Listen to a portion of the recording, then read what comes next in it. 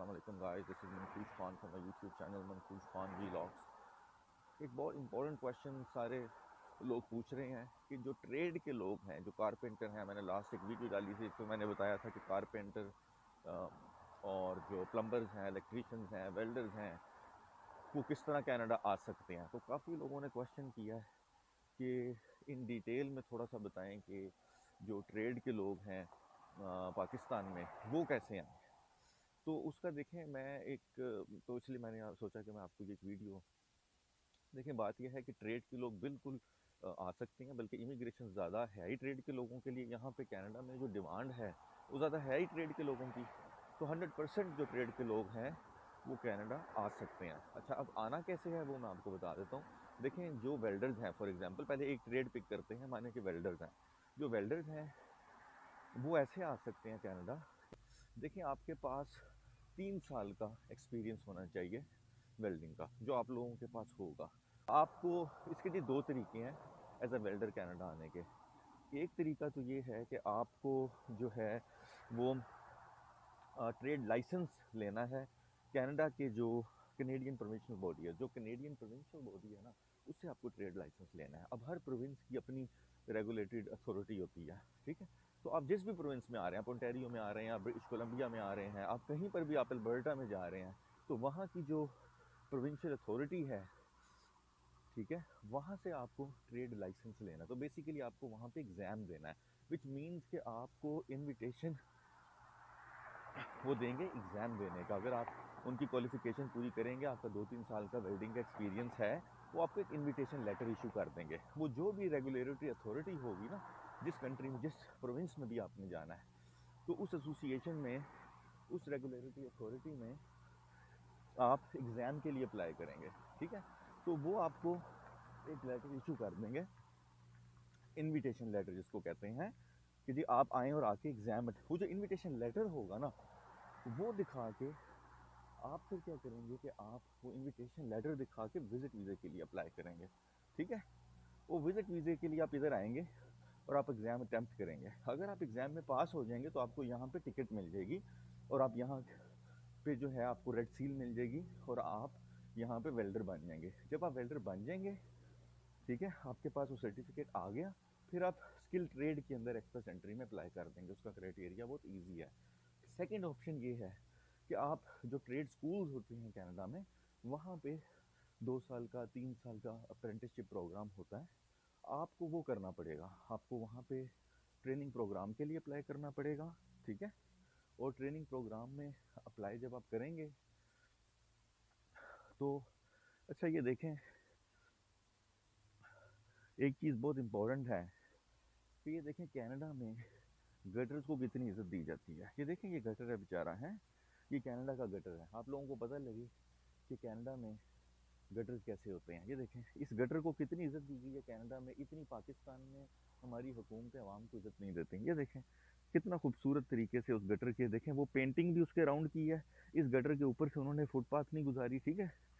Paint भी वो straight कर सकते थे, उन्होंने पेंट भी स्ट्रेट नहीं किया। देखें, आप खुद देख लें गटर को कितनी इज़्ज़त, वो देखें कितने मज़े से वो गटर। इसके ऊपर से जिसने जाना है ना वॉक करके, वो देखें, इस गटर की इज़्ज़त देखें कैनेडा में। वो इसके ऊपर वॉक करके भी नहीं जाएगा, है? वो साइड से होके गुजरेगा। ये देखें, वो यहाँ से होके गुजरेगा। इतनी इज़्ज़त है।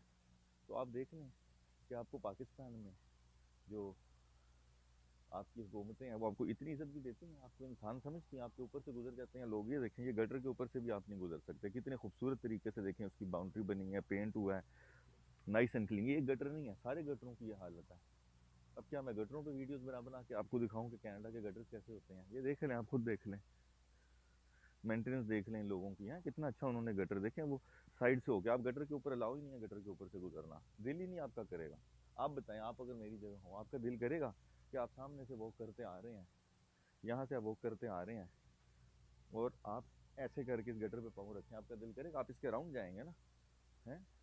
इधर आपके घरों की दीवारें गिर जाती हैं, आपके घर गिरा दिए जाते हैं, किसी ने पुल बनाना है, किसी ने ब्रिज बनाना है, किसी ने कुछ करना है। ये तो गटर रास्ते में आ गया, मैं टॉपिक से थोड़ा हट गया। अच्छा। तो तो आपको जो कनेडियन प्रोविंशियल बॉडी है ना प्रोविंशियल बॉडी ठीक है? किस कोई भी ट्रेड ले लें, आप प्लम्बिंग ले लें इलेक्ट्रीशियन ले लें, आप कोई भी आप आप वेल्डर्स पकड़ लें, ठीक है? आपको वो जो उनकी प्रोविंशियल प्रोविंशियल अथॉरिटी है ना प्रोविंशियल बॉडी है, आपको उस प्रोविंशियल बॉडी से बेसिकली जो है वो लाइसेंस एग्ज़ाम के लिए अप्लाई करना है, वो आपको इनविटेशन लेटर भेज देंगे और आपको डेट बता देंगे, आप उनको जो भी फ़ीस देंगे, वो आपको डेट बता देंगे, इस डेट को आज एग्ज़ाम दे दो। वो जो लेटर होगा ना, वो देकर आप फिर अपना विज़िट वीज़ा अप्लाई करेंगे। अगर आपने ये राउट नहीं लेना तो फिर दूसरा राउट है कि उन्हीं जो अथॉरिटीज़ हैं प्रोविंशियल अथॉरिटीज़ हैं, जो ट्रेड स्कूल्स हैं लोकल प्रोविंसेस के अंदर, ठीक है? वहाँ पर आपको, उन स्कूल्स के अंदर आपको उनके डिप्लोमा प्रोग्राम के लिए अप्लाई करना है। वो जो भी है, वो जिस तरह वेल्डर है तो उसका दो साल का है, तीन साल का है, उसमें अप्रेंटिसशिप भी हो सकती है। उसके बाद आप एग्ज़ाम अटैम्प्ट करते हैं, ठीक है?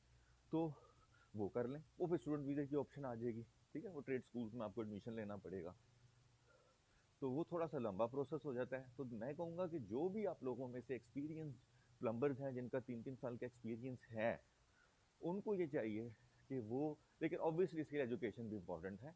आपको जो कनाडा के हिसाब से बारह बारह ट्वेल्थ स्टैंडर्ड आपने किया हो। ट्वेल्थ स्टैंडर्ड को इतनी हार्ड समझ लें कि वो क्वालिफिकेशन नहीं है, ट्वेल्थ स्टैंडर्ड आपने कनाडा की एजुकेशन के हिसाब से किया ठीक है? तो अगर आपने ट्वेल्थ स्टैंडर्ड कनाडा की एजुकेशन के हिसाब से किया तो आप जो हैं वो इजीली वहाँ पर एग्ज़ाम के लिए क्वालिफ़िकेशन के लिए अप्लाई कर सकते हैं। आपको टी भी मिल जाएगा इनविटेशन लेटर मिल जाएगा, ठीक है? आप वो इनविटेशन लेटर दिखा के इजीली जो है, वो अपना विज़िट वीज़े के लिए अप्लाई कर सकते हैं। ना विज़िट वीज़े के लिए कैसे अप्लाई करेंगे? देखें, वो अगर आपकी डॉक्यूमेंटेशन पूरी है, अच्छे तरीके से आपकी विज़िट वीज़े की फ़ाइल लगी हो 100 परसेंट विज़िट वीज़ा आपका लग जाएगा। अगर आपके सारे डॉक्यूमेंट्स पूरे हैं और आपका विज़िट वीज़ा रिजेक्ट हो जाता है तो बहुत ज़्यादा चांसेस होते हैं। अगर आपकी फ़ाइल अच्छी बनी है, आपके डॉक्यूमेंटेशन पूरी है जेन्यन केस है, आपके पास इन्विटेशन लेटर है किसी अवॉर्डिंग बॉडी की तरफ़ से अथॉरिटी की तरफ़ से तो 100 परसेंट आपकी अपील के अंदर आपका विज़िट वीज़ा लग जाएगा। अपील करने के भी बहुत सारे तरीके होते हैं विज़िट वीज़े के। तो अपील के अंदर लग जाएगा। तो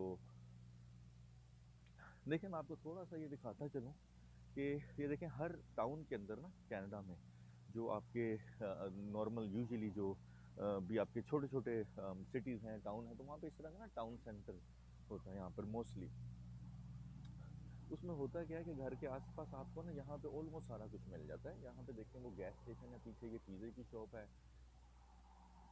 ठीक है, मैं आपको ज़रा बैंक भी दिखा देता हूँ। तो यहाँ पर ये है कि हर टाउन के अंदर इस तरह की छोटी छोटी आपको मार्केट्स मिल जाती हैं। ठीक है? मैं आपको स्कूल पर भी वीडियो बनाकर दिखाऊँगा कि किस तरह यहाँ पर हर सोसाइटी के अंदर, हर पाकिस्तान में सोसाइटीज़ ही कहते हैं, वहाँ पर आपको लोकल स्कूल्स मिल जाएँगे वॉकिंग डिस्टेंस पे भी होते हैं या फ्यू मिनट्स की ड्राइव पर आपको स्कूल मिल जाएँगे। तो इस तरह हर एरिए के अंदर ना छोटे छोटे ऐसे टाउन सेंटर से बने हैं, जहाँ पर आपको सुपर मार्केट्स मिल जाती हैं। बैंक भी आपको ये देखें, ये रॉयल बैंक आरबीसी बैंक है ये ये मेरे साइड पर। हाँ जी। तो ये देखें, ये बैंक आपको यहाँ पे मिल गया। वो सामने देखें टिम हॉर्टन है, जिसके पीछे पाकिस्तान में मार धाड़ चढ़ रही है। मैं आपको पास से दिखाता हूँ जाकर। आप कनाडा में टिम हॉर्टन देखें।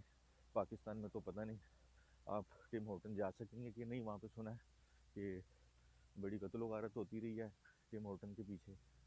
तो यहाँ पे टिम हॉर्टन पड़े हैं, देखें, हर कोने पे पड़े हैं, वो देखें। तो वो शेल का पेट्रोल पंप है।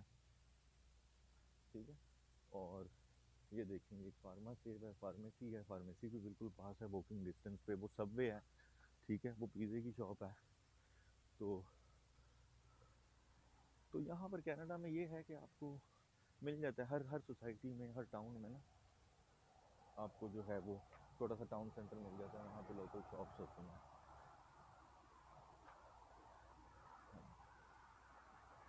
तो आप जो हैं, ये भी मैं आपको सिखाता हूँ कि कनाडा में रोड क्रॉस कैसे करते हैं ये देखें, ऐसे रोड क्रॉस करते हैं कनाडा में।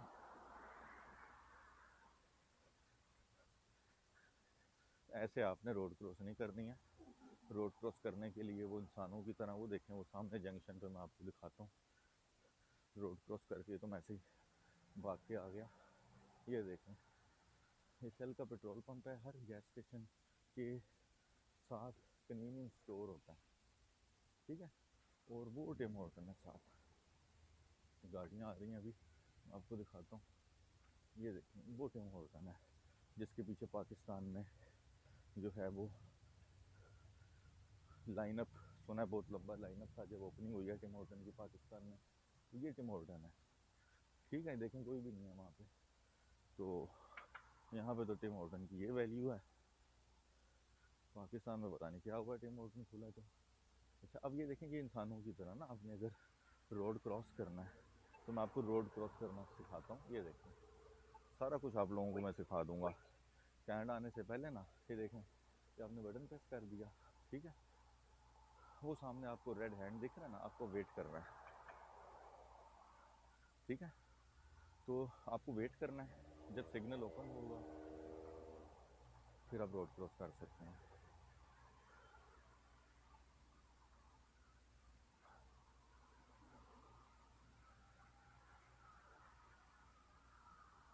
जब सिग्नल ओपन हो जाए, आपका वहाँ पर वाइट कलर का साइन आ जाएगा वॉक करने का।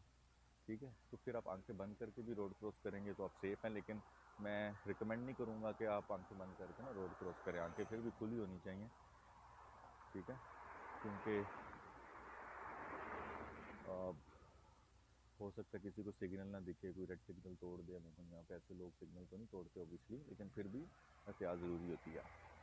देखिए, मैं छोटी छोटी चीज़ें आपको सिखाऊँगा कैनेडा आने के बाद आपने रोड क्रॉस कैसे करनी है जी? अभी मैंने पीछे आपको गटर दिखाया कैनेडा में गटर्स कैसे होते हैं।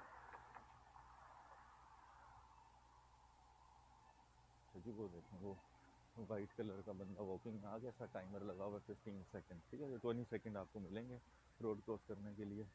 आप लेट के भी अगर आएँगे ना तो हम रोड क्रॉस कर लेंगे ट्वेंटी सेकेंड के अंदर। लेट के भी अब जाएँगे तो आपकी रोड क्रॉस हो जाएगी हैं।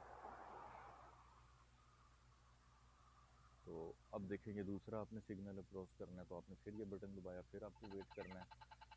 हम पाकिस्तानियों का होता है, देखते हैं ट्रैफ़िक नहीं है तो रोड क्रॉस कर लेते हैं, गाड़ी नहीं आ रही। लेकिन ऐसा आपने नहीं करना, कनाडा में बहुत स्पीड से गाड़ियाँ चलती हैं, ठीक है? और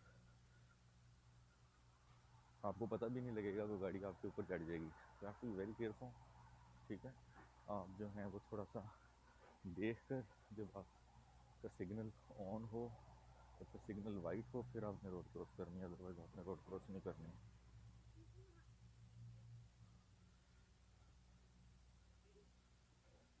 आपने भी देखा है कि ये बस स्टॉप था मेरे पीछे, ठीक है? तो और ये देखेंगे एक और, वो मैं पहले आपको उस कॉम्प्लेक्स में लेकर गया था ना, अभी देखेंगे इसके अक्रॉस रोड भी ये कॉम्प्लेक्स है, ये देखें। ठीक है? यहाँ पर चाइनीज़ की पीछे वो शॉप है।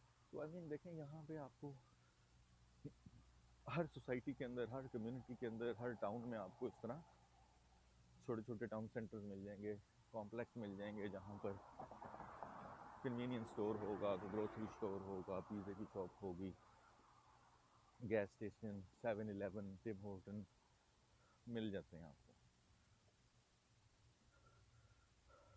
मेरी ये वीडियो ज़रूर सब्सक्राइब कीजिएगा। मेरा चैनल ज़रूर सब्सक्राइब कीजिएगा, वीडियो पसंद आए तो उसको ज़रूर लाइक कीजिएगा, शेयर कीजिएगा, सेव करें। कोई और क्वेश्चन हों कमेंट करें। अगर आपको मज़ीद डिटेल इन्फॉर्मेशन चाहिए है तो मैं आपको हर प्रोविंस की डिटेल इन्फॉर्मेशन भी दे सकता हूँ कि उनकी अवॉर्डिंग अथॉरिटी कौन सी है रेगुलेटरी अथॉरिटी कौन सी है, हर डिफरेंट ट्रेड्स की। वो आप खुद भी थोड़ी मेहनत कर लें, आप गूगल पर जाएँ, आपको खुद भी पता लग जाएगा। खुद मेहनत करने की आदत डालें। गूगल आपके पास ऐसा नहीं है, पाकिस्तान में गूगल नहीं है। पाकिस्तान में गूगल है। तो मेहनत की आदत डालें, खुद भी हाथ पाँव चलाएँ, ज़रूरी नहीं है कि आपने किसी को पचास, साठ हज़ार, लाख, दो लाख देकर ही गूगल पर सर्च करवानी है। आप सेम सर्च खुद भी गूगल पे कर सकते हैं। ठीक है? खुद काम करना सीखें, खुद मेहनत करना सीखें, खुद इन्फॉर्मेशन कलेक्ट करना सीखें। कई लोग मुझे कहते हैं, जी, ठीक है? तो हर जो प्रोविंशियल कनेडियन प्रोविंशियल बॉडी है कनेडियन प्रोविंशियल बॉडी है, वहाँ से आप, ये देखें आपको मैं जंक ये देखें, मैं आपको गार्बेज बिन भी दिखा दूँगा गार्बेज कलेक्शन का डे है। ये देखें, लोगों ने घरों में कैसे ये ब्लू बिन पड़ा है, वो येलो पड़ा है, ये ब्लैक बीन्स पड़े ये देखें आगे फिर एक ब्लू बिन पड़ा येलो ये येलो बैग क्या होता है, इसके अंदर आपको कार्डबोर्ड डालने होते हैं। कार्डबोर्ड इसमें डालते हैं ब्लू बिन के अंदर आप जितनी भी आपकी प्लास्टिक की बॉटल्स हैं, वो डालते हैं, और ब्लैक जो बिन है, उसमें आप गार्बेज डालते हैं। तो अवेयरनेस है, लोग करते हैं, वो ग्रीन बिन भी आगे पड़ा। उसमें आप ऑर्गेनिक डालते हैं कि जो भी उसमें आपका कुछ फ़ूड वेस्ट है, कुछ भी वो आप उसमें डालेंगे। तो ये इस तरह लोग सेग्रीगेट करके, ये देखें ब्लू बॉक्स इसके अंदर दूध की बोतल चली जाएँगी प्लास्टिक की, इसके अंदर बेन इसके अंदर गार्बेज चला जाएगा, उसके अंदर जो है वो ऑर्गेनिक स्टफ़ चला जाएगा, ठीक है? तो ये तरीका होता है। इस तरह लोग सुबह सुबह हर वेनसडे को या ट्यूसडे को जो भी आपका गार्बेज कलेक्शन का डे है ना, आप घर के बाहर चीज़ें रख देंगे तो वो गार्बेज वाले आते हैं, वो कलेक्ट करके ले जाते हैं। जब मैं उस तरफ़ जा रहा था तो एक वो गार्बेज कलेक्ट कर भी रहे थे। तो तो ये थोड़ा सा मैंने वो वीडियो बनाई, साथ आपको दिखा भी दिया कि एक यूजुअल डे कनाडा में कैसे स्टार्ट होता है। वेनसडे को कलेक्शन होती है गार्बेज की। मेरी वीडियो ज़रूर सब्सक्राइब कीजिएगा थैंक यू